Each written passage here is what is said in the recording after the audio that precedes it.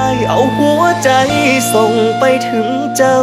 ด้วยความปวดร้าวความเหงามาตีกลับปลายทางบ่ยอมรับ ความจริงใจจากคนที่หวังดี เจ้าบ่หันมองของที่บ่ได้สั่ง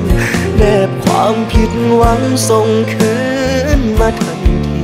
อยู่ดีบ่ว่าดีเสนอ